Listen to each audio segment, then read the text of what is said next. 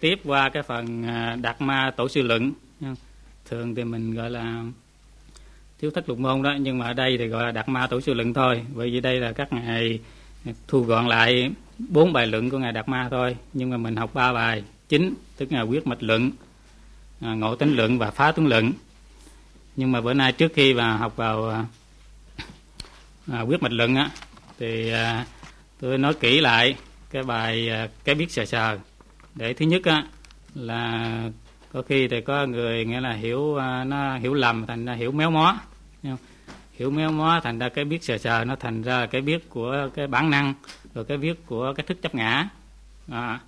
thứ hai nữa là hiểu rõ cái chỗ này rồi thì mới thấy sâu được cái tinh thần của ngài lâm tế trong à, lâm tế ngự lục mà ngài thường nhấn mạnh tới nhấn mạnh lui cái điều mà người đang nghe pháp sờ sờ trước mắt của cái ông đó. À, nhưng mà không hiểu kỹ thì hiểu thành cũng méo mó. À, cũng như cái điều thứ ba là hiểu kỹ này rồi thì vào trong viết bạch luận á thì nó hiểu chính chắn hơn. Vì viết bạch luận là mới ban đầu vào á thì cũng là nêu lên nghĩa là ừ, tâm chính là cái ông đang hỏi ta đó chứ gì hết.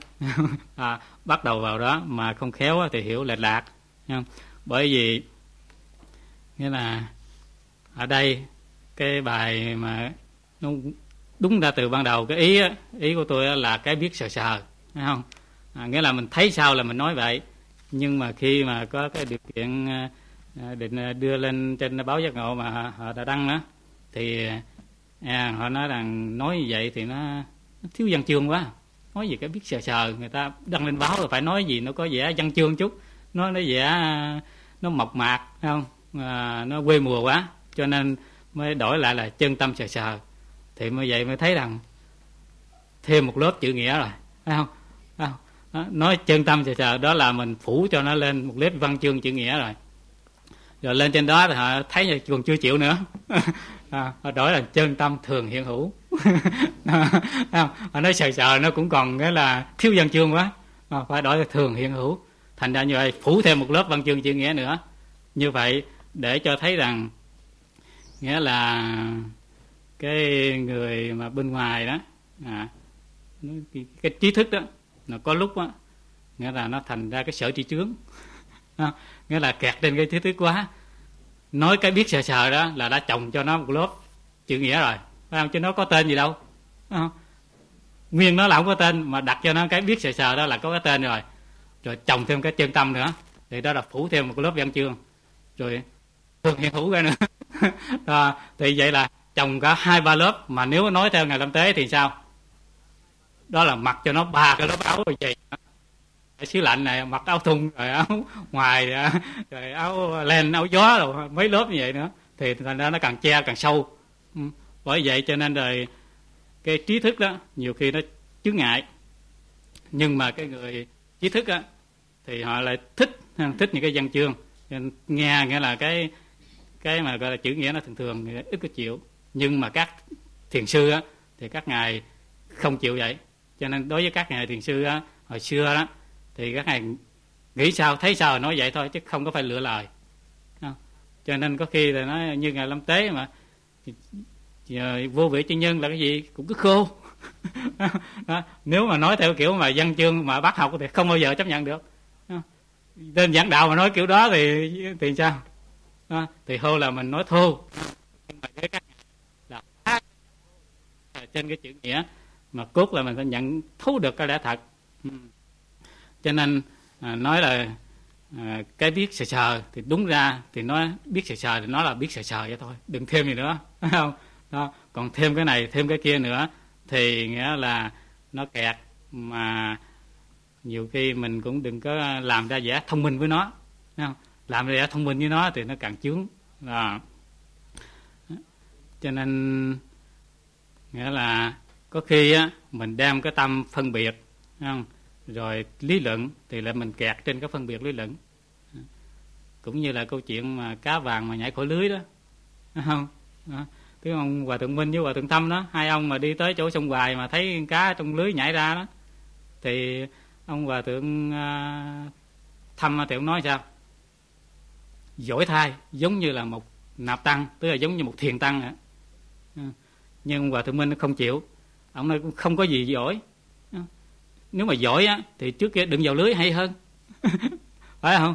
Đó, thành ra nhưng mà ông hòa thượng tâm thì ông liền ngay đó ông bảo huynh minh huynh còn thiếu ngộ nói vậy là còn thiếu ngộ nhưng mà ông hòa thượng minh nghe vậy cũng còn chưa tỉnh nữa tới về ờ, chỗ quán trọ đó nằm mà tới tới khuya đó mới mới tỉnh ra cái lời của ngài ờ, và hòa thượng thâm đó. thì cái đó mà nếu mà theo bình thường á, thì chắc ai cũng thấy hòa thượng minh là là là hay à không? bây giờ ông nói là thay vì mà nhảy vào lưới rồi cái này mới nhảy ra thì như vậy tốn công không vào trong lưới rồi phải trong đó phải cố để nhảy ra. Thì chi bằng trước đó đừng như vào ở ngoài thảnh thơi tự tại phải sướng hơn không? Thì nghe là ai cũng chịu cái điều đó hết không? trên cái lý luận là ai cũng chịu hết. Ở ngoài tự tại hơn nhảy chi vào đó để vào trồng rồi nhảy ra phải không? Thành ra lý luận là ai cũng thấy lý luận đó là là đúng hết. Nhưng mà kiểm lại á, thì chưa đúng. Nghĩa là dù cho anh nói hay cách mấy không? Anh lý luận là ở ngoài thảnh thơi tự tại, nghĩa là sướng hơn. Nhưng mà hiện thực thì sao? Đang nằm trong lưới đây. Đang nằm trong lưới đây mà anh lý luận cách mấy giờ thì cũng đang nằm trong lưới à? Phải không? Tất cả mọi người, kể cả mình, cũng đang nằm trong lưới hết. Bây giờ thì sao? Thì ở trong lưới mà nhảy ra được, cái đó mới là cái hay, mà cái đó mới là cái thực tế. Phải không? Tức là đang ở trong phiền não, đang ở trong vô minh này mà vươn lên mà tỉnh ra được thì đó mới là cái thực thôi còn ngồi đây mà nói rằng chi bằng hồi xưa đừng nhảy vô hay hơn nhưng mà ngồi đó chứ lận lận chứ cũng bây giờ thì cũng còn nằm đây thôi. Đó cái thực tế là như vậy. Cho nên thường là mình hay bị cái lý luận nó gạt. À. cho nên nói như vậy đó để cho mình thấy hiểu được cái ý nó à, nó rõ ràng nó không có mắc kẹt trên những cái trí thức à, lý luận. Mà chính cái trí thức lý luận đó nhiều khi nó chướng mà trong nhà Phật có khi gọi là sở tri chướng đó đem những cái tâm mà có khi thì mình lại đem cái tâm phân tích không đem phân tích rồi so sánh để mà hiểu thì nó cũng thành ra cái gọi là cái cái lý luận chia sẻ à. thí dụ như cái cái biết mà sờ sờ không? nhưng mà mình đem cái tâm phân tích rồi so sánh mình hiểu nó thì nó lại thành, không còn thành sờ sờ nữa mà nó thành ra cái biết của phân tích hoặc là cái biết của bản năng cho nên rồi có khi có người nói là à, biết gì sợ sợ như vậy thì cái đó giống như là cái biết của bản năng vậy thôi chứ có gì sợ sợ không? thì đó là đem cái tâm so sánh phân tích mà à, chính cái chỗ đó là cái chỗ nhiều khi giờ mình lầm nhiều khi mình hài lòng trên cái lý luận cái phân tích của mình nữa ừ. à, cho nên là cái câu chuyện mà, mà tô đông pha với ngọc phật ấn đó thì nghiệm kỹ cái bài đó thì mới thì trước khi vào đề thì phải nghiệm kỹ được cái bài đó thấy không nghĩa là ngài phật ấn thì đem cái tâm như phật mà nhìn ông tô long pha. Thì thấy ông tô long pha như phật. Còn trái lại ông tô long pha đem cái tâm như cục cước trâu mà nhìn ngài phật ấn. Thì ngài phật ấn giống như cục cước trâu. Thì cái này cũng vậy đó. Nếu mà đem cái tâm như phật mà nhìn á thì thấy nó là cái biết sờ sờ còn nếu mà đem cái tâm như cục cước trâu mà nhìn á không? thì nó là cái tâm của cái biết của bản ngã. À, cái biết của nghĩa là bản năng. À, nó đơn giản vậy thôi. Nó cũng là cái biết đó không? Nếu mình đem cái tâm mà như phật tức là đem cái tâm vô phân biệt đó mà nhìn á thì nó là sợ sợ. Còn nếu mà đem cái tâm mà gọi là phân tích so sánh mà nhìn nó thì nó là cái biết của bản năng thôi cái biết của thức chấp ngã. À. ừ. cho nên đây rồi đi vào cái đề cho mấy vấn đề mới thấy. À, tức là cái biết sờ sờ à, hay cái tên cũng gọi là một cái thông điệp mà để lại cho đời muôn thở đó. Tất nhiên là có ý á, là muốn nói lên muốn nhắn nhị lại cho nghĩa là mãi mãi về sau này. Đây là một cái lẽ thật một cái à, chân lý mà coi giờ vô thủy vô chung là một điều xác định trầm trăm như vậy. Đó. Ừ. thì ở đây bây giờ nói vô nè nói đến tâm hay là cái biết thì hẳn là chúng ta ai mà không có. Dù là kẻ thông minh hay là người ngu độn kẻ câm điếc hay mù lòa tàn tật cả đến cái kẻ say rượu người điên cuồng đã sinh ra đời thì ai ai cũng đều có đủ như nhau. Nếu không thì đã thành khúc cây hay hòn đá còn đâu. Ừ. Vừa mới sinh ra thì biết qua qua khóc ré lên rồi. Lúc khát sữa thì biết đòi bú. Tiếp theo biết bò, biết đi, biết nói. Hơi lớn lên thì biết buồn, biết giận, biết yêu, biết ghét, biết hơn, biết thua. Cho đến trong cơn thập tử nhất sanh thì cũng vẫn còn biết sợ, biết trối trăng có thể nói từ lúc mới sinh ra cho đến khi sắp chết cái biết này chưa từng thiếu vắng với chúng ta bao giờ. Đó. thành ra mới nghe thì ai cũng nghĩ rằng nghĩa là đó là cái biết của của bản năng chứ gì nữa phải không? Nghĩa là khắc sửa biết đội bú phải không? Rồi nghĩa là biết buồn biết giận à, à, biết hơn biết thua. À, thì như vậy tức là sao? À, tức là những cái biết sanh diệt không? Đó, thì hiểu kiểu đó là hiểu theo kiểu à, của cái so sánh của cái phân biệt. À, nên không thấy được hết ý. Mà ở đây á là mình phải nhớ kỹ à, đây là nói cái biết tinh thuần à, nghĩa là cái biết nguyên vẹn như là cái tự thở nào đó. À, nó nguyên vẹn biết là biết. À, thì phải thấy như vậy chứ còn đem cái biết mà có xen vào cái ngã trong đó để mà hiểu á, thì không phải. À, phải hiểu ý được vậy thì như vậy thì mới thấy được. Nghĩa là từ khi mới sinh ra cho đến cả ngay bây giờ thì nó luôn luôn nó có mặt nghe không? Nghĩa là mới sinh ra là có có cái biết đó, rồi cho đến cuối cùng gần chết thì nó cũng có, nó cũng hiện hữu. Nhưng mà mình thì thì mường thì mình thường mình sống theo cái, gọi là cái tướng sanh diệt, cho nên không thấy thấu được cái chỗ mà, gọi là nguyên vẹn đó. Cho nếu thấy thấu được cái chỗ đó thì mình mới thấy, nghĩa là nó rất là đơn giản. Cũng như là mấy huynh đệ mà có đọc Ờ, cái bài tâm bất sinh của ngài Bàn phê đó thì thấy là rất là ngài nói cũng rất là rõ cũng như chỗ này à, ví dụ như có đoạn ngài nói rằng ngài bảo rằng trong tất cả quý vị mà tập trung là tại đây hôm nay á thì không một ai là chưa giác ngộ. Nghĩa là mọi người mà đang tập trung ở đây là không ai là chưa giác ngộ hết. À, mỗi người ở đây đều là một vị phật. À, bởi thế này tức là bởi thế hãy lắng nghe cho kỹ cái mà tất cả quý vị thừa hưởng của cha mẹ đó, từ lúc mới lọt lòng đó, thì chỉ là cái tâm phật bất sinh thôi. Ngài nói, từ lúc đó là chỉ là tâm phật bất sinh thôi. Không có cái bẩm sinh nào khác ở nơi quý vị. Cái tâm phật mà quý vị có từ lúc cha mẹ mới sinh ra, thực sự là bất sinh và chiếu sáng một cách kỳ diệu. Và hơn thế nữa, với cái bất sinh này á, thì mọi sự đều được thu xếp một cách hoàn toàn ổn thỏa đó. với cái tâm bất sinh đó đó thì mọi việc nó được thu xếp một cách ổn thỏa khỏi cần mình xen vào đó. bằng chứng về điều này là trong lúc mà tất cả quý vị đang lắng nghe tôi nói đây mà ở ngoài kia à, có tiếng quạ kêu không? tiếng chim sẻ chíp chíp tiếng gió xào xạc không? tức là ngoài kia có tiếng gì đó thì mặc dù không cố tình phân biệt những âm thanh ấy mà quý vị vẫn nhận ra và phân biệt được từng tiếng rõ ràng. Tiếng chim quạ tiếng chim sẻ tiếng gió à, sao cành. Đó. thì như vậy quý vị nghe mà không làm lẫn. Đấy gọi là nghe với cái bất sinh. À, à, ngài như vậy thì ngài thấy ngài nói rất là rõ phải không? Nghĩa là mọi người đang ngồi đây thì quý vị ngồi đây là chú tâm là chú tâm đang nghe giảng không? Chứ đâu có cố ý mà nghe bên ngoài. Nhưng mà bên ngoài có tiếng gì thì nghe liền. À, nghĩa là không cần cố ý không cần tác ý gì hết. Phải không? Đó. ngồi nghe đây mà bên ngoài là có tiếng gì là nó nghe qua đó. thì cái đó đâu có tác ý gì. Đó. thì nghe nói nghe cái đó là cái hiện à, à của cái tâm bất sinh. À, nhưng mà mình thường thường thì mình không có không có nhận ra cái đó mà mình lại cứ chú ý nghe là theo cái gọi là cái bị nghe thôi. Chú ý theo cái bị nghe thôi cho nên là theo cái duyên rồi bị cái duyên nó chuyển. À, còn ở đây à, à, nghĩa là mình hiểu rõ nó là cái sờ sờ đó với cái tâm mà nó vô phân biệt đó thì nó lúc nào nó cũng là hiện hữu đó thôi. Ừ. Cho nên mới thấy rằng mấy trăm năm trước đó với ngài bàn phê đó thì ngài nói như vậy. Bây giờ mình, nghĩa là cảm nhận ra thì mình thấy nó cũng như vậy thôi. Đó là một cái chân lý không? cách mấy trăm năm thì nó cũng vậy à. đó. chân lý vẫn là chân lý thôi. Nó vẫn ngay bây giờ thôi, chứ không khác. Như mấy huynh đệ thấy, kiểm lại, thí dụ như lúc mà phật thích ca mà thành đạo đó, thì ngài từ đâu mà thành? Phật thích ca mà thành đạo là từ đâu mà thành? Thường thường là mình nói là phật thích ca thành đạo dưới cội bồ đề.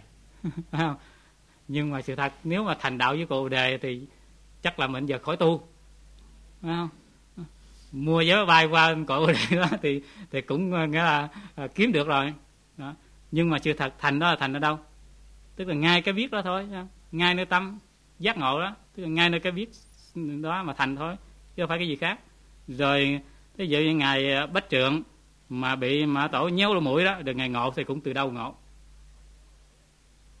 nếu mà ngoài cái viết đó ngộ được không? Ngoài cái đó thì giống như cây đá lấy gì ngộ? À. rồi cũng như ngày lâm tế ngày lâm tế mà bị đánh ba lần à, rồi sau đó thì tới ngày chỗ đại ngu đó ngày khai thị cho câu nhẹ thôi thì liền tỏ ngộ. Thì như vậy cũng là ngộ từ đâu? À cái lúc mà bị đánh đó thì nó có hay không? À, cho nên phải thấy rõ ngài đại ngu ngài chỉ có nói câu nhẹ thôi. Nhưng mà nó từ đâu chạy tới mà ngộ. Cho nên mới thấy rõ đó là cái nó vẫn luôn luôn nó sờ sờ nhưng mình quên. Quên tất nhiên mình nhớ theo cái duyên thôi. Cho nên đến khi mà nhớ trở lại thì biết rằng nghĩa là nó không mất. À, cho nên đó là cái mà nó luôn luôn nó có mặt với mình. Mình cũng hay. À thì hiểu như vậy đó thì mới thấy được cái ý nghĩa mà của cái gọi là cái biết mà nó luôn luôn nó có mặt với mình đó. Cho dù anh là người Việt, người Lào, người Miên hay là người Trung Hoa, người Pháp, và người Mỹ gì hoặc là người Phật giáo, người Thiên Chúa giáo, người Hồi giáo, người Ấn Độ giáo, không? Thì cái biết này á, nó cũng vẫn có đủ như nhau. Không? Nghĩa là dù hạng nào cũng có, nghĩa là không phân biệt màu da, chủng tộc, không phân chia giai cấp tôn giáo hay đảng phái nhưng vậy thì tại sao mà chúng ta ai ai cũng đang lo chạy đuổi tìm hiểu biết đó, thì cái kẻ hở đó là tại chỗ nào đó là chỗ mình phải thấy nghĩa là dù cho người người da vàng da trắng gì người tôn giáo gì nhưng mà có có thiếu cái này không đó. Đó. sinh ra thì cũng à, biết khóc không à, lớn lên thì cũng biết uh, ăn biết đòi bú rồi cũng biết uh, khi gần chết thì cũng biết sợ biết trói trăng gì thì cái đó là cái biết nó theo sát từ như thế nào ai cũng đều có, không đủ, không có thiếu gì hết. Thì như vậy thì tại sao mà lại, nghĩa là còn đi tìm? Hiểu biết. Cho nên rồi ai ai thì cũng, nghĩa là luôn luôn là đi đi tìm hiểu biết thôi. Đi học rồi cũng đi tìm hiểu biết thêm học đạo cũng đi tìm hiểu biết thêm. Là nhưng mà ở đây á, thì có chỗ nào mà thiếu? Ví dụ, dù cho anh người người nào đi nữa, mà nhéo lỗ mũi biết đau không? đó.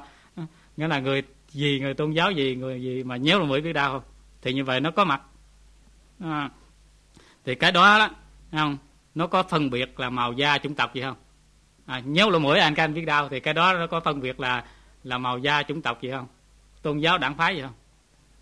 À, nhưng mà trên cái biết đó đó rồi mình lại thêm cái biết nữa tức là đi tìm cái biết nữa thì chính cái đó đó là cái cái gọi là cái bệnh là trên đầu thêm đầu đó.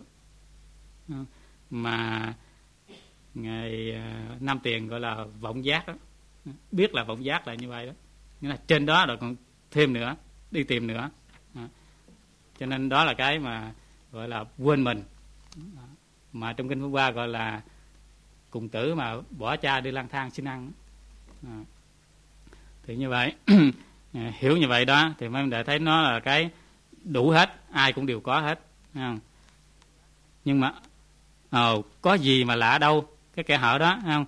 Chỉ vì chúng ta ai ai cũng cứ lo nhìn theo những làn sóng nhấp nhô lên xuống hấp dẫn kia rồi mặc tình lặng hợp mệt nhồi trong đó. Cứ bị hết cái lượng sóng biết này tiếp nối cái lượng sóng biết kia lôi kéo mà chạy mãi không phút giây dừng nghỉ. Rồi có khi cơn gió tạm yên những cái lượng sóng nhẹ dừng đôi chút thì chúng ta liền chới với à, vơ tay tìm kiếm lại mà quên mất rằng nước vẫn còn đây. Đó. cái lỗi là tại sao? Nghĩa là mình theo cái biết này theo cái biết nọ tức là theo những cái lượng sống. Không? Nghĩa là biết nghĩa là biết uh, vui biết buồn biết uh, thương biết ghét đó. Không? nhưng mà mình theo trên những cái tướng vui buồn thương ghét đó tức là theo trên những cái lượng sống đó tức là đó là thuộc về cái dụng cái dụng nó phát khởi. Mà mình phải cần khéo nhận ra ngay từ cái dụng đó đó nhận trở lại cái thể thì liền gặp nhau tất cả. Còn mình lại theo cái dụng cho nên nó thành sai biệt. Nghĩa là cũng từ một cái thể biết đó thôi nhưng mà mình à, theo cái cảnh cho nên nó mới nổi lên sống phân biệt. À, nổi sống phân biệt rồi nó mới xô đẩy xô đẩy tiếp nối đó. Tất nhiên là, là hết cái biết này tới biết kia. Rồi mình theo đó mình tưởng chừng như là nó có nhiều cái biết. Không? À, chính mình tưởng chừng như như cái nhiều cái biết đó đó là những cái lượng sống sanh diệt. À, chứ còn thực ra khi mà nhận rõ rồi thì mới thấy nghĩa là tất cả đó cũng đều nằm trong mặt nước thôi. Không? bao nhiêu lượng sống cũng nằm trong mặt nước thôi. Cũng như là bao nhiêu những cái biết này biết kia đó thì nó cũng đều nằm trong cái gì? Bao nhiêu những cái biết này biết kia đó đều nằm trong cái gì? Đó. nằm trong một cái thể biết vô niệm đó thôi. đó. nghĩa là trong cái thể biết vô niệm đó thôi tức cái sờ sờ đó trong gì khác. Cho nên à, sống dừng á thì nước vẫn là nước. Phải không? Sống dừng thì nước vẫn là nước. Cũng như cái phân biệt nó lặng thì biết vẫn là biết. Đó. Cái phân biệt nó lặng rồi thì cái biết vẫn là biết mà nó biết cách tràn đầy. Ờ, nó biết sẵn như vậy. Đó. thì cái đó là nó không bao giờ nó thiếu vắng dù nó có đối tượng hay không đối tượng? Còn cái biết mà thuộc ở trên cái làn sóng đó cái, cái dụng đó thì nó cần có đối tượng. Tất nhiên là có đối tượng thì mới có biết. Còn không đối tượng á, thì nó không biết. Tất nhiên nó dừng. Còn cái này á, có đối tượng hay không đối tượng nó vẫn biết. Đó. thì như vậy đó thì mới thấy được lại như vậy đó thì mới thấy thấu được cái thể biết chứ không á, thì mình nghe như vậy thì mình cứ trên cái tướng biết đó mà mình à, so sánh á, thì mình thấy nó có sai biệt rồi nó có nhiều thứ nó có sanh diệt. À. À, quả thực tự đáng thương cho chúng ta vô cùng. Anh hãy nhìn kỹ lại xem. Nếu bảo rằng chúng ta không có nó thì khi gió thổi cảm nghe mát rượi làn da đó là gì? Ừ. Rồi ngay khi này chúng ta có suy nghĩ chi đâu. Nhưng nó vẫn hiện hữu ra đó. Không ai ngăn cản được. Còn kia anh đang đi bình thản thì bất chợt nghe tiếng gọi tên mình tức liền quay đầu ngó lại thì đâu có suy nghĩ cái gì phải không? Vậy thì nghĩa là đã có cái gì ở trong đó mà khiến ra như thế? À, và đây nữa khi nghe tiếng bản đánh lên thì cũng nào có suy nghĩ gì đâu. Thì vậy thì sao lại biết mặc áo đi ăn cơm? Đó, thì có cái gì kỳ đặc ở trong đó, đó. À, nghĩa là sao? Nghĩa là mình đi thông thả bình thường nhưng mà nghe gió thổi qua cái thì nghe cảm mát rượi à, à, rồi đang đi bất chợt nghe tiếng gọi tên mình cái liền quay đầu ngó lại à, đó. thì lúc đó là có, có có cố ý có cố ý để mà nghe để mà soi lại gì đâu à, và cũng như bình thường mỗi ngày khi nghe tiếng bản á, thì liền biết mặc áo đi ăn cơm liền à, thì nó có cái gì ở trong đó à. cho nên đó nhưng mà rồi á, có người á thì không nhận rõ được chỗ đó rồi nói rằng đó là do cái bản năng thôi. Bản năng như vậy phải không? Nghĩa là gọi cái thì nó soi đầu đó là cái bản năng. Cũng như là nghe bản thì biết đi ăn cơm đó là cái bản năng hàng ngày vậy thôi. Cho nên là không thấy hết được nghĩa là cái nghĩa là cái thật ở trong đó. Ừ. Hoặc là có khi thí dụ như mình ờ, đang đi rồi có cái nhánh cây nó gãy xuống cái thì liền biết nhảy cái tránh. À, thì mình nhìn theo cái à, cái duy thức học thì nói rằng đó là cái thức chấp ngã nó phản xạ như vậy phải không đó. thì nếu mà chỉ nhìn như vậy đó thì cũng chưa thấy hết được à, chỗ, chỗ này à. À. nếu mà nó chỉ là cái gọi là cái thức chấp ngã thôi cái phản xạ thôi hoặc là cái biết bản năng thôi á thì à, nó không có gì nữa thêm nữa không thì chắc là nghĩa là mình khó mà tiến được không? Như là ngài thí dụ như ngài út sơn chủ. Ngài út sơn chủ mà khi mà cởi ngựa đi qua cầu té ngựa cái liền ngộ đó thì sao? Nghĩa là cởi ngựa đi qua cầu bất chợt ờ, té té cái giật mình cái thì ngộ. Thì như vậy là sao? Nhưng mà trong đó là ngộ là ngộ được cái gì?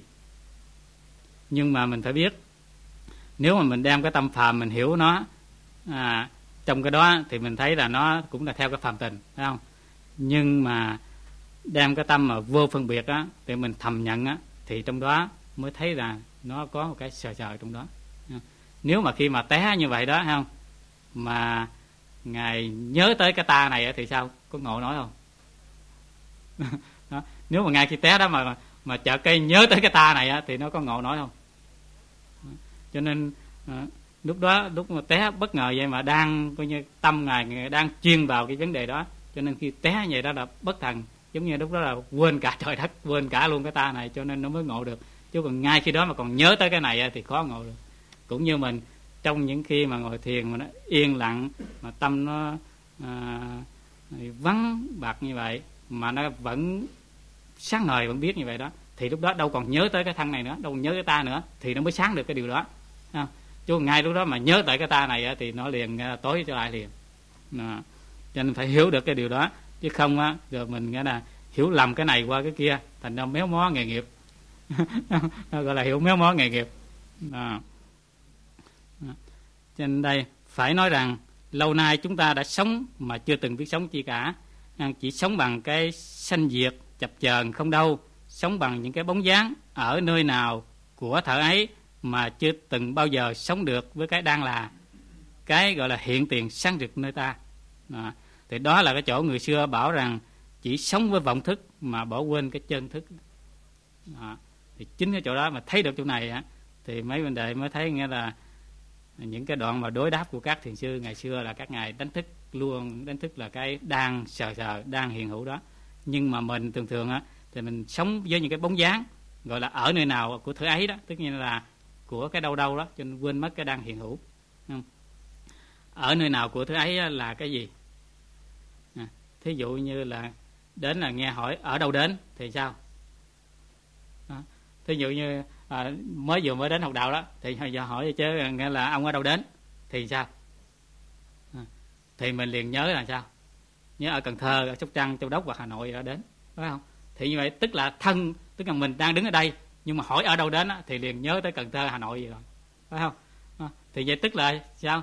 Tức là đang sống với cái cái gọi là ở hà nội á hoặc là ở cần thơ á. Cho nên quên mất cái mà đang đứng đối diện hiện tiền đây. Nhưng mà ngài, các ngài mà muốn hỏi đó là một hỏi, đâu cần phải hỏi tới mấy cái kia không? Mà hỏi cái gì mà đang ở đây? Nhưng mà nhưng mà hỏi ở đâu đến là muốn gạn lại cái chỗ đó. Đó. Nhưng mà mình thường thường là thì mắc kẹt ở chỗ đó. Khi mà đáp bằng tôi ở cần thơ là cái sao? Là trong đầu mình đang nhớ tới cần thơ rồi. Tức là quên mất cái đang đứng đó rồi. Đó. thì như là quên mất cái sợ sợ đó. Cho nên nghĩa là à, ngài chịu châu và gặp cái kiểu đó thì sao? Thì bảo uống trà đi liền. Phải không? Hỏi đâu đến mà bảo là chưa từng đến phải không? Ví dụ như hỏi à, à ông từng đến đây chăng thì bảo là chưa từng đến. Không? hỏi ở đâu đến thì đáp là ở cần thơ sóc trăng gì đó là một cái kẹt rồi không? rồi hỏi ông từng đến đây chăng thì đáp sao? Nếu mà thật sự là chưa đến đáp chưa từng đến thì sao? Đó đó là bị gạt thêm lớp nữa. Nếu mà chưa từng đến thì cái gì đang đứng đó? Phải không? Đó, nhưng mà không hỏi là hỏi mà hỏi cái đó. Nhưng mà mình lại cũng nhớ là đâu, nghĩa là mấy năm trước à nghĩa là từ mấy năm trước là chưa từng đến đây lần nào, cho nên cứ nhớ tới đó thôi, là cũng quên mất cái đang đứng đối diện đó. Chứ còn hỏi là từng đến đây chăng? À, thì nếu mà thật sự mà người mà rõ ràng thì sao? Đó. À, nếu mà rõ ràng thì chỉ cần, nghĩa là hét lên tiếng hoặc là tống trong đạp thì biết là có đến hay không đến à phải không? À, còn ở này nghĩa là ờ, đáp nghĩa là đâu đâu đó à, là quên mất rồi ha. Bảo rằng chưa từng đến thì cái gì đang đứng đối diện mà trả lời đó, đó. đó. cho nên đó gọi là cái mình đang sống với cái đâu đâu là như vậy đó. À, hoặc là hỏi từng đến đây chăng? Ờ, đáp đã từng đến không? Mà nếu từng đến đó, thì lại còn hỏi gì nữa? Đã từng đến thì tất nhiên là sao? Từng đến là tức là từng ở đây rồi thì còn hỏi thêm gì nữa? Cho nên chính cái chỗ đó mà gọi là mình thấy ngài Diệu Châu ngài, ngài rất là khéo léo nhưng mà ít ai mà thấy được ý của ngài. À, từng đến đây chăng bảo chưa từng đến thì cũng bảo uống trà đi. Còn à, ông à, từng đến đây chăng đã từng đến từng đến thì cũng uống trà đi. Đó. Như vậy từng đến rồi mà còn nói gì nữa phải không? Cho nên uống trà đi là xong. Mình thấy được cái đó mới thấy được cái trà chị dâu lại chỗ đó. Chứ nhiều khi đâu mình đọc là mình thấy nhiều khi là ngài tưởng đâu ngài nói đâu đâu không? À, mới thấy được cái ý nó sâu như vậy. Cho nên ở đây mới gọi rằng mình quên cái hiện tiền mà sống như cái vọng thức là như vậy đó. Vọng thức tất nhiên là nhớ tới những cái mà chuyện nghĩa là ở đâu đó à, mà quên mất gọi là quên mất cái chân thức. Thì nhưng mà sự thật á thì nói vọng thức hay chân thức đó thì sao? Mình lâu nay cũng hay mắc kẹt hai cái tên đó. Sự thật nó vọng thức hay chân thức là cũng là đồng một cái tên thôi đồng một cái tên thức thôi. Là đồng một cái thể đó thôi à. Nghĩa là một cái thể biết đó thôi. Thức tức là biết.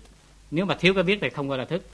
Thì như là vọng thức hay chân thức cũng đồng một cái biết đó thôi. Nhưng mà cái biết mà gọi là biết theo duyên, rồi bỏ sót lại chính nó tức nhiên nó chỉ biết theo duyên thôi mà quên mất chính nó thì đó gọi là vọng thức. Còn biết tất cả mà biết vẫn là biết thôi, nó không xen lộn gì cái hết. Thì tức là chân rồi, không có thiếu vắng lúc nào đó.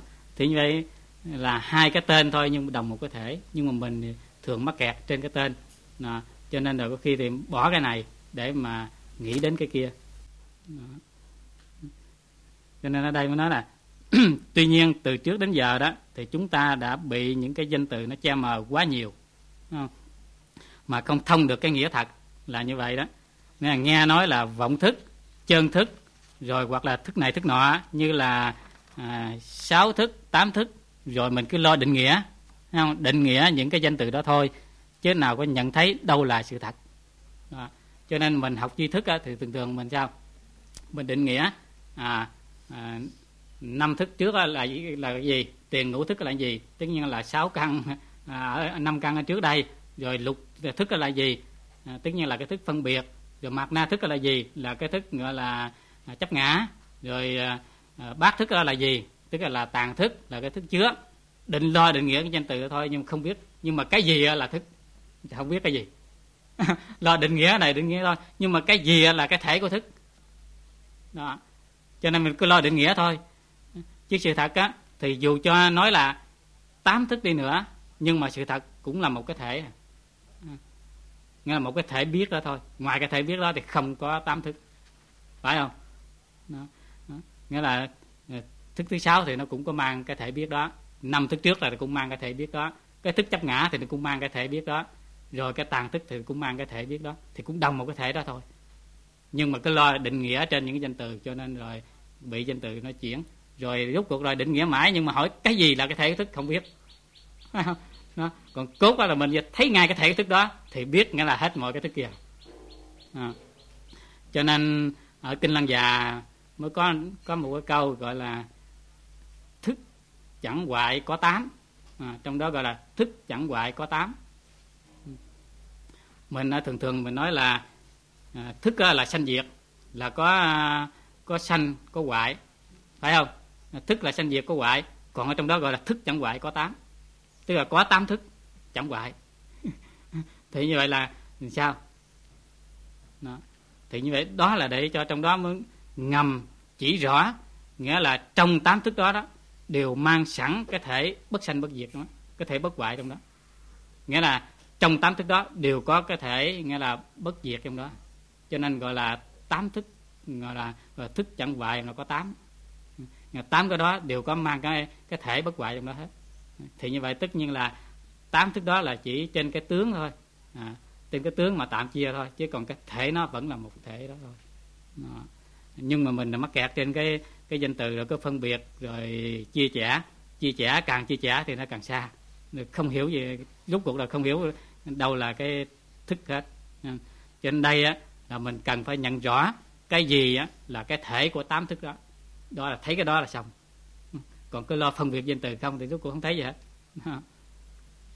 Cho nên ở đây nó gọn lại để cho mình dễ hiểu là giờ đây nè, chúng ta hãy gạt qua hết những cái danh từ phiền phức đó không, không nói trơn hay nói vọng gì nữa. Không có kẹt cái danh từ đó. Mà bây giờ chỉ tóm lại hai phần đơn giản cho mình dễ nhận. Chỉ hai phần đơn giản thôi. Một phần à, là phần nổi. Phần nổi tức là phần biểu hiện ra bên ngoài đó mà chúng ta hàng sống bấy lâu nay. Không? tức là cái gì?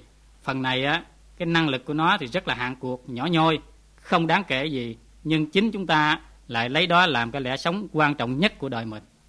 À, tức là cái phần gọi là cái phần biểu hiện bên ngoài phần nổi.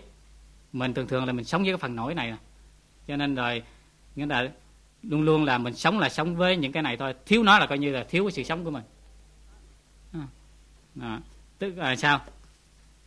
Nghĩa là những cái thức mà nó biểu hiện ra nơi các căn đó à, nghĩa là nó biết phân biệt các, các cái trần đó. Đó là mình sống là sống với những cái đó thôi. Cho nên thiếu những đó giống như là mình không còn sống. Thêm cái nữa là cái thức chấp ngã à, tức là cái thức thứ bảy đó. À, tất nhiên là cái mà nó luôn luôn nó ngầm ngầm nó nghĩ có một cái ta để mà nó tựa. Luôn luôn là nó nghĩ luôn luôn là nó nghĩ có một cái ta gì để nó tựa thôi. Cho nên rồi nếu mà mất đi không còn có cái chỗ tựa thì nó liền quảng hốt. Mà quảng hốt thì nó liền chạy tìm nữa để nắm bắt nữa. Đó. cho nên là đó là cái mà gọi là gọi là đây gọi là cái giới hạn đó. Như là câu chuyện mà mấy huynh đệ đã nghe câu chuyện mà thiền sư vô căn đó. Vô căn mà mà ngồi thiền mà bất chợt rồi bị ông huynh đệ, mấy ông huynh đệ đem tiêu á. Ngồi thiền ba ngày rồi mấy ông huynh đệ tưởng đâu chết đem thiêu đó. Thiêu rồi ông mới hiện hình về để mà ông tìm ta đó. Ta đâu ta đâu hoài đó. Thì ngài diệu không ngài mới đến là ngài mới bảo là đem những cái thau, cho thau nước rồi thau lửa rồi đến cho ngài để mà ngài khai thị cho ông đó. Bảo ông là ông cứ À, ta đâu thì cứ chỉ ở trong thau nước, ông ở trong nước, thì nó vào trong nước tìm không được. Thì không vào trong lửa, thì vào trong lửa tìm cũng, nó cũng không có. Rồi ngài chỉ vào vào trong hư không, thì rồi ông cũng vào trong hư không mà ông cũng tìm không có. Thì ngài, diệu không ngài mới nói sao? Nghĩa là ông vào trong nước được nè, vào lửa được, vào đất được, vào trong hư không được, thì như vậy ông còn tìm gì nữa? Phải không? Đó. vậy vậy còn hỏi tìm ta đâu nữa thì hỏi tìm gì nữa đó. cho nên chính cái đó là cái mình mới thấy là cái lầm lẫn mà nhiều đời của mình, của mình. cho nên là mình đọc nhiều khi là à, có những vị mà chết quan nào còn đi tìm nữa hoặc là chẳng hạn à, cũng như là là ai như à, như là quan công đó không quan công là bị chặt đầu rồi mà rồi cứ à, đi đòi đầu đi đòi đầu rồi mới gặp à, uh, ngài thiền sư phổ tịnh gì đó ngài mới khai thị cho đó nghĩa là ông đã lấy đầu biết bao nhiêu cái đầu rồi còn ông mất cái đầu ông còn đi đòi nhưng mà sự thật lúc mà đang mà đi đòi, đi đòi đầu đó thì đó là ai đó? Ai đi đòi đầu đó? Phải không? Cho nên à, ở trong nhà thiền cũng có à, cái câu chuyện mà của ngài đặng ấn phong. Câu chuyện này thì mình ít nghe. Nghĩa là ngài đặng ấn phong đó có một lần ngài cũng thiêu chết một vị tăng. Ngài thiêu chết một ông tăng. Thì ông tăng đó chết rồi thì một hôm ông mới hiện hình về. Ông hiện hình về ông đòi. Ông bảo là hãy trả mạng lại cho ta hãy trả mạng lại cho ta. Đó hiện hình về chùa đội vậy. Thì gặp ngài ở đặng phong ngài nghe biết. Ngài mới đến ngài bảo ông nhưng mà ông chết hay chưa cái đã? Ông đòi nhưng mà ông có chết hay chưa? À, thì cái vị đó mới bảo tôi đã chết rồi. Thì ngài đặng phong ngài đừng bảo ông đã chết thì vậy còn ai mà đi đòi mạng đó? Ông đã chết thì còn ai mà đi đòi mạng đó? Thì ngay khi nghe đó thì cái vị tăng đó liền nó biến mất liền. Được. Không? Đó như vậy để để thấy rằng sao? Cứ nghĩ rằng có một cái ta không? Có một cái ta này để mà nương tựa thôi. Cho nên mất cái ta này là đi tìm. Còn quên mất chính cái đang đi tìm đó thì đâu có mất gì đâu. Phải không? Đó. cho nên ở đây mới nói rằng mình thường thường là mình sống với cái phần nổi sống với cái phần mà gọi là nó nó, nó hàng cuộc nó nhỏ nhoi đó là như vậy đó. Ừ. cho nên đó gọi là cái phần gọi là cái phần biểu hiện bên ngoài thôi. Còn hai á, là cái phần tiềm ẩn bên trong. À, phần tiềm ẩn bên trong tức là chính đây á, là cái nguồn sống vô biên. À, đó là cái năng lực mà dự trữ không cùng tận à, mà trái lại thì chúng ta vẫn hằng bỏ quên. À, cho nên chưa từng có giây phút nào mà nhớ lại hết. Chỗ này á đơn cử đơn cử ra một cái thí dụ cũng như là điện nó có hai phần phải không? Một phần biểu hiện ra bên ngoài và một phần dự trữ vô biên ở trong vũ trụ. À, thì như vậy chúng ta thì thường chỉ biết điện ở bóng đèn nè ở quạt máy ở radio ở tivi ở tủ lạnh mà ít có ai biết đến cái nguồn điện nó tràn đầy ở trong vũ trụ vô biên kia. Đó. thì vì vậy cho nên là đối với chúng ta thì khi mất điện thì mình đi chạy tìm điện. Còn đối với các nhà khoa học thì sao? Thì họ biết được cái nguồn điện này, cho nên rồi biết là điện nó luôn luôn nó có sẵn khắp nơi hết. Và họ mới nghiên cứu tìm những cái phương tiện để mà phát ra điện. Đó. thì xa hơn nữa thì họ còn biết khai thác những nguồn điện này á, thành ra những cái năng lực phi thường mà ít ai ngờ tới được thì đó là những cái nhà khoa học vật chất. À, nghĩa là sao? Nghĩa là à, biết rõ điện á, là nó không phải chỉ ở tivi ở quạt máy thôi mà cái gốc của nó là ở khắp cả vũ trụ. Phải không? À, cho nên là khi mà ở tivi quạt máy mà thí dụ như là nó cúp điện không hoặc nó hư điện à, thì sao? À, thì ngài biết nghĩa là nguồn điện nó không phải chỗ đó cho nên đời chỉ cần nghĩa là đến những cái gọi là máy phát điện. À, có máy phát điện thì phát ra thì nó có lại trở lại. Chứ không phải là chỉ ở những cái tivi hoặc máy thôi. Nhưng mà người thường thì khi thấy mất điện ở tivi hoặc máy thì thấy dây điện nó mất rồi không còn. Cũng như mình vậy. Khi mà tai mắt này mà nó là sao? Nó hư cái thì tưởng đâu là nó mất. Nhưng mà sự thật đâu mất. Nó hư cái này nhưng mà nó nó dồn qua những cái khác. Phải không? Đó. Mắt hư á thì giống như là điện nó mất ở mắt thôi cho nên mình thấy đó cái này á trong uh, con người mình thì giống như một cái uh, gọi là một cái, cái máy phát điện á. Cái bộ não này giống như cái máy phát điện. Phải không? Bộ não giống như cái máy phát điện á. Còn các cái dây thần kinh giống như dây điện chứ có gì đâu. Phải không? Những cái dây điện đó nó dẫn dẫn tới chỗ này tới chỗ kia. Đó. cho nên rồi khi mà nó dẫn tới chỗ này chỗ kia để mà cần dùng mà nếu mà chỗ này chỗ kia mà nó nó đứt điện á thì nó hư nó mất điện chẳng hạn, cái này rất là, mình thấy rất là rõ ràng. Thí dụ như đau răng. Đau răng mà đi lấy tỉ răng là sao? Đó là cắt đứt cái đường điện chỗ đó chứ gì nữa, phải không? Thì nó hết đau. Thì cũng như mà trong quạt máy, phải không? cắt đứt cái đường điện quạt máy thì quạt máy nó hết chạy à. Đó. thì cái này cũng vậy. Nó, lấy tỉ ra rồi thì nó hết đau.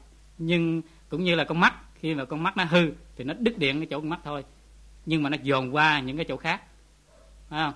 Cho nên khi mà ví dụ như là người mù à, thì lỗ tai họ thính hơn phải không hoặc là cái xúc giác của họ nó nhạy hơn cho nên những người mù khi là họ giờ cái tiền đó mình đưa họ biết à, giờ rời nhưng mà biết đây là mấy trăm mấy ngàn phải không đó. nhiều còn mình nhiều khi mắt sáng vậy chứ mà rồi nhắm mắt rồi biểu đưa là không biết đó. thì như vậy để thấy rằng nó dồn qua những cái khác chứ không phải mất đó. nhưng mà ở đây cái cốt là muốn sao là muốn mình đó là phải khéo để mà thấy ra ngay cái chỗ nó phát ra điện đó, đó cái nguồn mà phát ra điện đó, đó thì cái đó mới là cái khéo của mình. Mà chính cái chỗ này á là cái chỗ mà ngài à, Ngưỡng Sơn với ngài Trung ấp đó, ngài Trung ấp và ngài à, ngài đáp cho ngài Ngưỡng Sơn đó. Vì khỉ sáu cửa đó. Tất nhiên là ngài Ngưỡng Sơn mà hỏi ngài Trung ấp là làm sao để mà thấy được à, cái nghĩa Phật tánh? Thì ngài Trung ấp ngài nói sao? Ngài bảo là ta có cái nghĩa là thí dụ thí dụ cũng như cái nhà có sáu cửa, trong đó có con khỉ. Rồi bên ngoài cũng có con khỉ.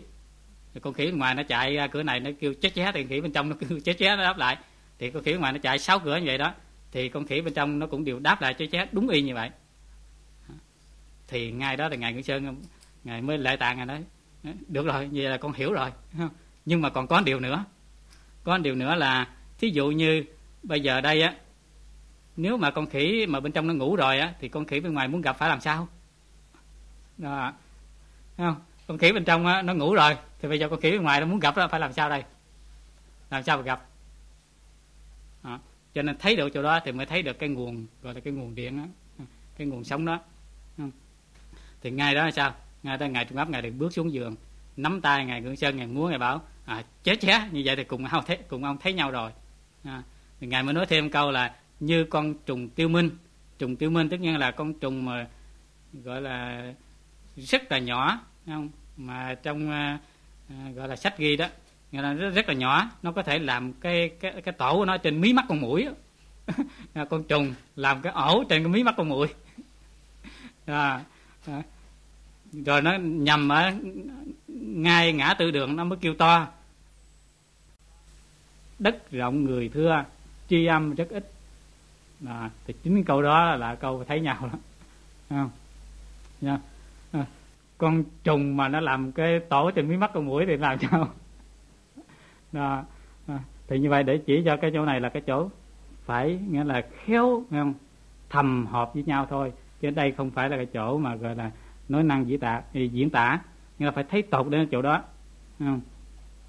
nghĩa là có con khỉ bên trong là có con khỉ bên ngoài thì bên ngoài nó kêu thì bên trong nó đáp cũng giống như mình bây giờ thấy không? À, bên ngoài có tiếng thì trong nó liền nghe phải không? Đó. À, còn bên ngoài á không? nó có cái mùi gì đó thì bên trong nó cũng liền ra đây nó, nó đáp liền thấy không? Nhưng mà bây giờ đây á ví dụ như trong mà nó ngủ rồi thì sao? À, thì phải thấy được cái chỗ đó. Tức nhiên là sao? Tất nhiên là phải thấy được cái chỗ khi mà nghĩa là không có duyên đó không? Không có duyên đó mà nó vẫn à, hiện hữu nó không mất. À, và thấy được cái chỗ đó thì mới thấy được cái tột cái nguồn của cái thức. Còn nếu mà chỉ mình nhìn theo cái gọi là cái đối duyên thôi á thì khi không có duyên thì sao? Không có duyên thì ví dụ là có tiếng thì nó nghe rồi không có tiếng thì sao đấy? Đó. cho nên đó là phải thấy được cái chỗ đó thì mới thấy được cái luôn luôn mà nó sờ sờ nó hiện hữu nơi mình. Đó. đây cũng vậy không? Chúng ta thì vì chỉ biết sống với những cái phần thức biểu hiện bên ngoài đó mà không hề biết đến cái phần thức mà thuộc về cái năng lực tiềm ẩn bên trong. Không? cho nên cái sự hiểu biết của mình đó nó rất là hạn chế. Và chúng ta cũng luôn luôn là phập phòng mình lo sợ mất nó thiếu nó. Cho nên đó là cái lý do mình cứ luôn luôn là mình chạy săn tìm hiểu biết không thôi. Đó. nghĩa là mình cứ nghĩ rằng nghĩa là nó có lúc là nó nó mất nó thiếu. À, cho nên là cứ lo tìm tìm sợ nó nó không có. Chứ không biết rằng cái biết mà nó nó có đối duyên đó thì nó là cái biết nó tạm thời. Còn cái biết mà nó hàng hữu thì mình thì cái đó dù có duyên hay không có duyên nó vẫn có mặt. À.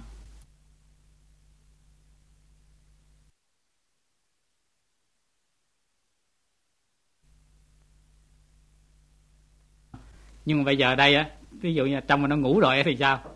À, thì phải thấy được cái chỗ đó. Tức là làm sao? Tất nhiên là phải thấy được cái chỗ. Khi mà nghĩa là không có duyên đó không? Không có duyên đó mà nó vẫn à, hiện hữu nó không mất. À, phải thấy được cái chỗ đó thì mới thấy được cái tột cái nguồn của cái thức. Còn nếu mà chỉ mình nhìn theo cái gọi là cái đối duyên thôi á thì khi không có duyên thì sao? À, không có duyên thì ví dụ là có tiếng thì nó nghe rồi không có tiếng thì sao đấy đó cho nên đó là phải thấy được cái chỗ đó thì mới thấy được cái luôn luôn mà nó sờ sờ, nó hiện hữu nơi mình. Đó. đây cũng vậy. Không, chúng ta thì vì chỉ biết sống với những cái phần thức biểu hiện bên ngoài đó mà không hề biết đến cái phần thức mà thuộc về cái năng lực tiềm ẩn bên trong. Không? cho nên cái sự hiểu biết của mình đó, nó rất là hạn chế. Và chúng ta cũng luôn luôn là phập phòng mình lo sợ mất nó, thiếu nó. Cho nên đó là cái lý do mình cứ luôn luôn là mình chạy săn tìm hiểu biết không thôi. Đó. nghĩa là mình cứ nghĩ rằng nghĩa là nó có lúc là nó nó mất nó thiếu. À, cho nên là cứ lo tìm tìm sợ nó nó không có. Chứ không biết rằng cái biết mà nó nó có đối duyên đó thì nó là cái biết nó tạm thời. Còn cái biết mà nó hàng hữu thì mình thì cái đó dù có duyên hay không có duyên nó vẫn có mặt. À, thì vậy có bao giờ mà nó mất? À, cho nên rồi yeah ở đây mới nói rằng à, nghĩa là những cái nhà mà khoa học bên ngoài đó thì họ biết được cái nguồn đó thì họ khai thác thì mới thấy rằng nghĩa là lúc nào thì điện nó cũng có hết chứ không có thiếu. Thì đây đối với các à, tổ thì cũng các ngài cũng vậy đó. Mà gọi là đối với các tổ đó thì các ngài cũng như là những nhà khoa học gọi là tâm linh. Ngài phát hiện ra và sống được với cái nguồn sống mà bên trong của cái thức đó cho nên các ngài có những cái hiểu biết mà nó vượt xa cái hiểu biết tầm thường của chúng ta. Rồi cũng như đồng thời các ngài đó, có cái sức diệu dụng không thể nghĩ bàn. Nghĩa là nhờ, nghĩa là biết được cái nguồn đó. Không? nghĩa là các nhà khoa học vật chất thì sao? Khoa học vật chất thì phát minh những cái điều người ta chưa biết, phải không? Rồi xác chứng rõ ràng để đem ra dùng. Thì các ngài chư tổ cũng vậy, các ngài cũng phát minh những điều mà mọi người chưa biết phải không? Rồi cũng ứng dụng vào trong cuộc sống và các ngài cũng xác chứng một cách rõ ràng ngay chính mình. Chứ không phải là cái mơ hồ cũng như không phải là những cái lý luận mà viễn vông hoặc là đợi qua cái thế giới khác á, rồi mới chứng minh. Mà các ngài có thể chứng minh ngay trong cuộc sống này. Từ đó mới có những cái diệu dụng ở trong đó nó ứng ra. Nhưng mà cái diệu dụng mà đặc biệt hơn cả là mấy đệ biết cái diệu dụng gì không? À, cái diệu dụng mà đặc biệt hơn cả đó. Là gọi là cái mà làm chủ trong sinh tử. Đó là cái dụng đặc biệt.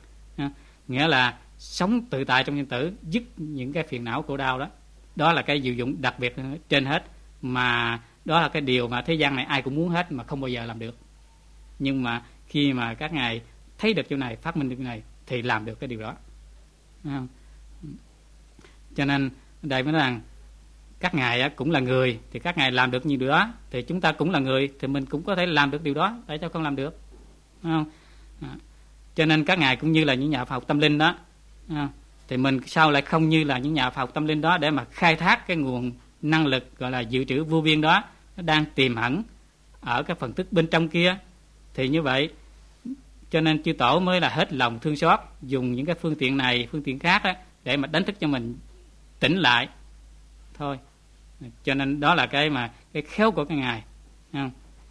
thì ở đây, mình muốn biết thì phải gọi là sao hãy lặng lòng mà nhìn lại xem các ngài, gọi là các nhà khoa học mà tâm linh đó đó, mới hé mở cho mình thấy cái nguồn sống mà gọi là tràn đầy vô biên đó không? nghĩa là các ngài thấy mình có như vậy mà không biết, cho nên mới đánh thức đánh thức mình qua những cái phương tiện này, phương tiện khác đó gọi là hé mở cho mình thấy. Nhưng mà cái khéo á, của mình á, là cho mà khéo nhân những cái phương tiện đó để mình thấy trở lại. À, cho nên đây mới dẫn cái đoạn mà của ngài linh mặt đến ngài à, thạch đầu. Ngài linh mặt khi mà đến tổ thạch đầu thì cái duyên không khế hợp cho nên mới tự giả đi. Thì tổ thạch đầu mới tiễn sư đi ra đến cổng mới liền gọi to xà lê. Thì sư liền quay đầu ngó lại tiền bị tổ dán thêm cho một câu từ sinh đến tử chỉ là cái ấy thì soi đầu chiếc não làm gì? Thì ngay đó sư liền thức tỉnh, nó vẫn sẵn nơi đây. Đó. nếu mà không á, thì làm sao biết soi đầu ngó lại? Đó. nhưng mà mình à, thường thường á, thì nghe như vậy thì mình hiểu sao? Tất nhiên là cái biết soi đầu ngó lại thì đó là, ngay đó là đủ rồi. Phải không? À. nhưng mà nếu mà chỉ nhận mà gọi là cái biết soi đầu thôi á, thì sao? Đó. nếu mà chỉ nhận cái biết soi đầu thôi á, thì sao? Đó. nghĩa là có người ờ, thì nói rằng cái biết soi đầu thì đó cũng là cái biết của bản năng thôi không nghe gọi thì soi đầu lại. À, cho nên nếu chỉ nhận cái biết soi đầu đó thôi á thì không khéo á, thì mình lại cũng chưa thấy tộc được hết. Bởi vì như vậy thì khi mà thí dụ như mà khi mà ờ, đứt cái đầu á thì sao? Thì giờ cái đó nó còn ở đâu nữa để mà soi? À cho nên mình phải thấy vượt qua cái đầu đó. Nghĩa là trong đó đó, nó có cái gì? Không? chứ còn mà chỉ dừng ngay chỗ cái soi đầu đó, thì coi chừng là mình cũng còn lầm. Phải không? Nghĩa là trên cái soi đầu đó mình khỏi hiểu, thì liền bị cái tướng soi đó đó à nó che mờ. Bởi vì sao? Có soi thì có dừng. Không? có soi thì có dừng. Mà có soi có dừng tất nhiên là cái tướng sinh diệt. Đó phải không? Có khi soi có khi dừng. Thì có khi soi khi dừng. Thì khi soi đó à, thì nó hiện thấy rõ. Nhưng mà bây giờ khi mà dừng không soi thì giờ nó ở đâu? Đó. À, cho nên nếu chỉ mà ở trên cái soi đầu mà hiểu không thì chưa đủ không? À, mà phải thấy được không? Thấy được cái mà gọi là mà gọi là con mắt này không thể thấy được đó trong cái soi đầu đó nhưng mà mới thấy qua cái chỗ mà mắt này không thấy được đó thì mới là khéo thấy chứ chỉ nhầm trên cái tướng soi đó mà hiểu á, thì nhiều khi chưa đủ. Cho nên là nếu có người thì nghe như vậy là cái tưởng đâu là mình thấy cái tướng soi đó là như vậy là đủ rồi. Cho nên mới nói rằng như vậy thì nó cũng giống như cái bản năng nó nghe gọi là sói. À, thì đó là cái lầm. Cũng như là ngài hoàng sơn cốc không? ngài đến ngài nương với à, ngài hối đường và khi mà ngài xin chỉ cho cái chỗ thẳng tắc thì ngài hối đường đó ngài mới bảo sao? Ngài mới bảo như là khổng tử nói này các trò cho ta là dấu giếm ư ta không có dấu giếm gì các trò cả. Không? À, thái sử căn cứ vào đâu mà lý luận? Đó. thì ông suy nghĩ đáp ngài hối đường ngài liền bảo chẳng đúng chẳng đúng. Như vậy thì ông cũng mê muội luôn không biết gì. À, thì lúc đó đó một hôm thì ông mới theo hầu ngài hối đường đi dạo núi. À, đến nhằm cái lúc mà qua quế nó rụng đầy đất thì ngài hối đường ngài mới hỏi vậy chứ ông có ngửi thấy mùi thơm của hoa quế chăng? Thì ông mới đáp dạ ngửi thấy. Thì ngài hối đường liền sao? Ngài liền chọc thẳng cho thêm câu, ta không có giấu giếm gì ông cả. Thì ngay đó ông liền ngộ liền. Sống trở lại cái đang hiện tiền buông thở đó. Thì như vậy thấy, nghĩa là hai người cùng đi không? Rồi cái hoa quế lúc đó nhầm cái mùa hoa quế nó nở, cho nên nó nở đầy hết, có mùi bay thoảng thơm. Đó. thì ngài hối đường, ngài hỏi gì chứ ông có ngửi thấy không? Thì rõ ràng phải không? Hai người cùng đi. Thì ta cũng ngửi thấy ông cũng ngửi thấy. Thì vậy là có dấu giếm gì không? Đó. ai cũng ngửi thấy hết thì có dấu giếm gì? Không? cho nên ngay khi mà nghe đánh thức như vậy đó thì ông liền nghĩa là có cái à, tỉnh ngộ liền. À. nhưng mà mình ở đây á mà nghe hoài á thì tại sao không ngộ? Nghĩa là bữa nào vô làm bếp là coi như là có ai mà bốn huynh đệ mà làm bếp thì cái mùi nó bay lên có ai mà không ngửi không? Đó. Thì vậy là một cái mùi mà nó bay lên thì cả bốn người đều ngửi hết thì có người nào mà che giấu người nào? Nhưng mà tại sao không thấy? À, tại vì mình nghĩa là chỉ theo cái mùi thôi không? nhưng mà có người thì chỉ nhận nhận cái ngửi biết mùi không? Nhưng mà nếu chỉ nhận cái ngửi biết mùi thôi á thì sao? À, nếu mà chỉ nhận cái ngửi biết mùi thôi á thì nó cũng còn chưa chưa đủ. À. À. bởi vì sao? Như vậy thì trước khi mà đối diện với cái mùi đó thì nó ở đâu cái đã? Phải không? Nếu mà chỉ nhận cái ngửi biết mùi thôi thì bây giờ trước khi mà đối diện cái mùi đó thì bây giờ nó ở đâu? Ừ, sao thấy? À, à, cho nên phải thấy được như vậy. À, phải thấy qua cái cái chỗ đó. À, nghĩa là phải thấy vượt qua cái lỗ mũi. Chứ còn chỉ căn cứ trên cái lỗ mũi thôi á thì có lúc á thì nghĩa là mình cũng bị lầm.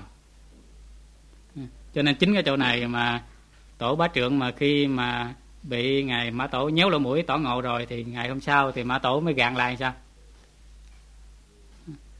Tất nhiên là cái buổi đầu thì bị nhéo lỗ mũi nhớ lỗ mũi mà, mà hỏi rằng ông nói bay qua mắt rồi thì còn cái gì đây?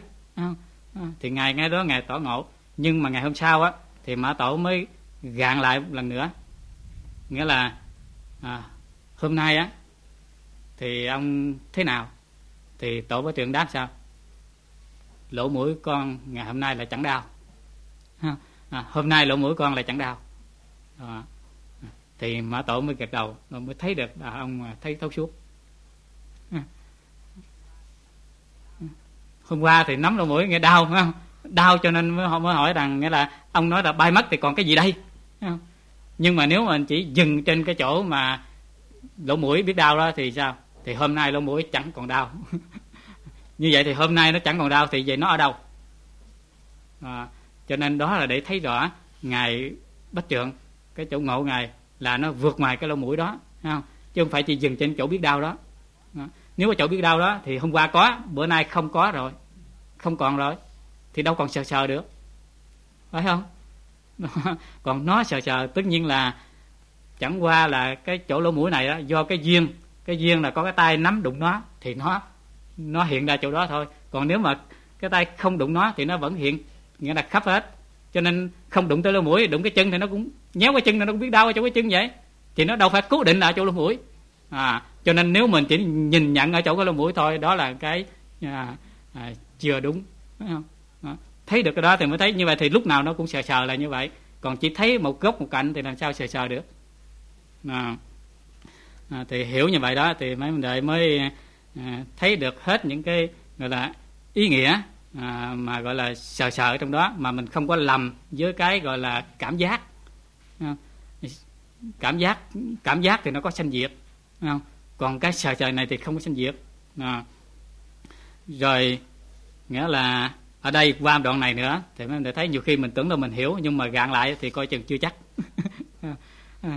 trở lại như lục tổ, khi ngài nghe hai ông tăng cãi nhau về phướng động và gió động không? thì tổ liền bảo, tâm nhân giả động thì như vậy chúng ta ai mà đã thấy được ý tổ hay không à. hai ông tăng thì chỉ lo đuổi theo cái bóng bên ngoài không? mà thực tình thì quên mất cái đang sờ sờ biến động ở đây. Phải không? À. thì chính cái đó mới là cái cốt yếu của vấn đề. Nếu mà không có nó thì gió và động gió và phướng cũng thành vô nghĩa. Phải không? Nếu không có cái biến động đây thì gió và phướng nó cũng thành vô nghĩa. Do đó cho nên khi nghe câu này thì hai ông tăng liền giật mình. Biết đây không phải là hạng người thường mới vào báo cho ngài an Tông hay. À, thì nghe như vậy thì mình sao? Ai ai cũng nghĩ rằng về thì chính cái tâm của hai ông tăng nó động thôi chứ gió phướng đâu có động phải không? Bởi vì ngài nói gió phướng không phải gió động không phải phướng động chính tâm nhân giả động. Thì tức là tâm của hai ông tăng động. Đó. mấy vấn đề có phải thấy vậy không? Hay có ai thấy khác được không? Đâu ai thấy khác nữa trình tôi coi. À như vậy nhưng mà đây bây giờ đặt câu hỏi lại. Nếu không có gió và phướng á không? À, thì cái cái biết động nó trụ ở chỗ nào? Nếu không có gió và phương và cái thứ hai nữa, nếu mà nói là tâm của hai ông tăng động á, thì bây giờ có hẳn vậy chưa? Nếu là tâm của hai ông tăng động, hay là tâm của tổ động mà ngài xen vào trong đó. Đó, phải thấy thêm cái chỗ này nữa, phải không? Đó. hai ông tăng đang cãi đó, còn ngài có dính dáng như ngài mà ngài xen vào trong đó? Thì như vậy là tâm hai ông tăng động hay là tâm của tổ động? Là phải thấy được, phải thấy lại cái chỗ này chứ nhiều khi là mình, nghĩa là chỉ nghe cái ngôn ngữ của cái ngày xưa nay ghi lại vậy thôi là mình cũng hiểu vậy thôi giờ kết luận chỉ hai ông tăng thông thôi, phải không đó. cho nên đây là để cho mình phải thấy thấy tột cái vấn đề trong đó, chứ đừng có nghĩa là hiểu trên cái, gọi là cái cái chữ nghĩa, cái ngôn ngữ của người ta thôi thì như là tâm ai động đó. đó cho nên ở đây á, mấy anh đệ thấy nè, bây giờ có cái điều này nè. Đã là gió không? Gió và phướng chẳng động. Phải không? Như tổ nói không? Chẳng phải gió động, chẳng phải phướng động. Phải không? Thì vậy là gió và phướng chẳng động. Thì cớ gì mà tâm động? Đó, nó bám vào đâu mà nó động? Hả? gió chẳng động, phướng chẳng động, thì tâm nó bám vào đâu mà nó động? Bám vào đâu? Đó. cho nên cái chỗ đó phải thấy được cái chỗ đó. Chứ nhiều khi rồi mình nghe xuông xuông không? Phải không? Hai cái đó không động, thì giờ tâm động thì giờ nó nó nó nhầm vào chỗ nào mà nó động. Đó. cho nên đó, để cho thấy rõ, ở đây á, mới thấy được tổ khéo léo, ngài đánh thức, gọi là cái đang sờ sờ nơi nơi người đó mà mọi người quên. Cho nên là nghe nói tới động cái thì mình liền tưởng động. Mà tưởng động cho nên là bị bị mê thôi bị nó che thôi. Cho nên chính cái ngày là ngài muốn đánh thức cái sờ sờ đó. Mà cái sờ sờ đó thì động cái gì? Cho nên nói tâm động là muốn đánh thức ông tỉnh đại chỗ đó. Rồi mình nghe nói tâm động là mình cũng tưởng động theo luôn. Là bệnh mờ luôn. Phải không? Đó. À, cho nên phải thấy được cái ý đó thì mới thấy được cái ý sâu của tổ. À, nhưng mà cái này à, phải nghe là kinh nghiệm thôi chứ còn lý luận chắc không tới nổi. À, cho nên đó nhiều khi là mình hiểu ở trên cái gọi là trên cái cái chữ nghĩa không nhiều khi mình cũng hài lòng. Thành ra nói câu chuyện qua nếu mà không có mà nhấn mạnh mấy chỗ này á thì nói qua cái chắc là mấy vấn đề trong đây ai cũng nói tôi hiểu hết rồi. Phải không? À, tôi hiểu hết rồi. À, nhưng mà đặt lại vấn đề thì mới thấy có nhiều cái tế nhị trong đó. Ừ, ừ. Thì như vậy để cho vấn đề hiểu kỹ chỗ này rồi thì mới thấy rằng gọi là ờ, cái biết hay là cái biết sờ sờ đó là cái mà mình phải từ trong cái chỗ nghĩa là tâm chứng mà mình nhận á thì nó mới đúng còn đem cái gọi là tâm phân biệt so sánh suy nghĩ hiểu qua nó thì nó cũng thành ra cái phân biệt so sánh suy nghĩ hoặc là thành ra cái biết của bản năng cái biết của thức chấp ngã rồi đó. À, phải thấy thấu như vậy thì rồi mình đọc qua những cái ờ, phần ngữ lục hoặc là những cái chỗ ờ, khai thị của tổ thì mình mới à, thấm sâu được những cái ý trong đó. Chứ còn không mà mình hiểu hồi hời hồi hợt bên ngoài á thì mình thấy nghĩa là nhiều khi là nó nó, nó dễ nghe là méo mó gọi là méo mó nghề nghiệp. Ừ. Thì à, đây là nói đáng lẽ thì phải giảng hết cái này nhưng mà nói qua đoạn đó thì gợi ý thôi. Gợi ý cho để thấy được cái ý à, nó kỹ hơn để rồi mình học qua cái quyết mạch luận đó nó sâu hơn thì thôi, bữa nay là mình học như đây. Nguyện đem công đức này hướng về khắp tân